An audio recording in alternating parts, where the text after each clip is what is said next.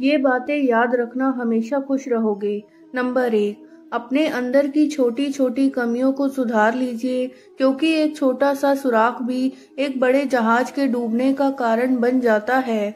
Number दो, लोगों का मुँह बंद करवाने से अच्छा है, अपने कान बंद कर लो। नंबर तीन, जिन चार लोगों के बीच बैठकर आप दूसरों की बुराई करते हैं, यकीन मानिए वो चार लोग आपके उठते ही आपकी बुराई करते हैं।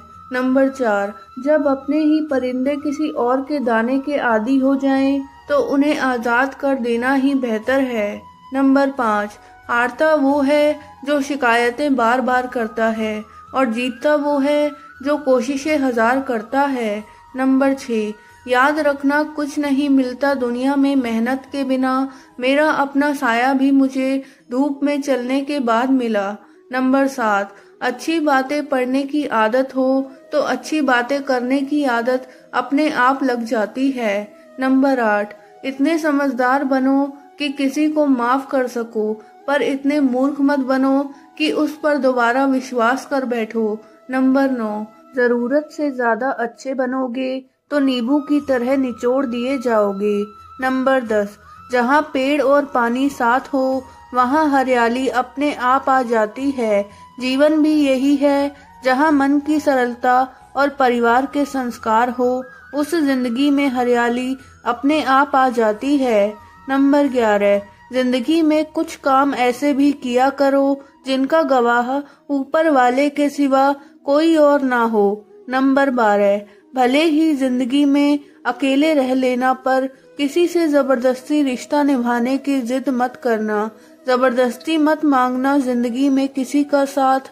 कोई खुद चलकर आए तो उसका मज़ा ही कुछ और है। नंबर तेरह। झाड़ू में जब तक बंधन होता है, तब तक वो कचरे को साफ़ करती है और बंधन खुल जाने पर वो खुद कचरा बन जाती है। इसलिए सदा अपनों के साथ बंधे रहे। नंबर चौदह। किसी के घर जाओ तो अपनी आँखों को काबू में रखो ताकि उसकी कमियाँ ना दिखे। किसी के घर से निकलो तो ज़ुबान को काबू में रखो ताकि उसके घर की इज़्ज़त और राज दोनों सलामत रहे। नंबर पंद्रह, जितना हो सके खामोश रहना ही अच्छा है, क्योंकि सबसे ज़्यादा गुनाह इंसान से उसकी ज़ुबान ही करवाती है। नंबर सोलह, बोलने से पहले सोचो क्योंकि बोलने के बाद सोचा नहीं, पछताया जाता है। नंबर सत्रह, किसी काम की चिंता करना ठीक है, पर इतनी भी चिंता ना करो कि काम ही बिगड़ जाए। नंबर अठारह, ये मत सोचो कि एक महीने या एक साल में क्या हो सकता है, बल्कि यह सोचो कि 24 घंटे में क्या हो सकता है। नंबर 19 समझदार इंसान से की गई कुछ मिनटों की बातें हज़ारों किताबें पढ़ने से बेहतर है। नंबर 20 सेवा सबकी करो, पर आशा किसी से मत रखो, क्योंकि सेवा का असली मूल्य इंसान नहीं दे सकता, वह केवल भगवान दे सकता है।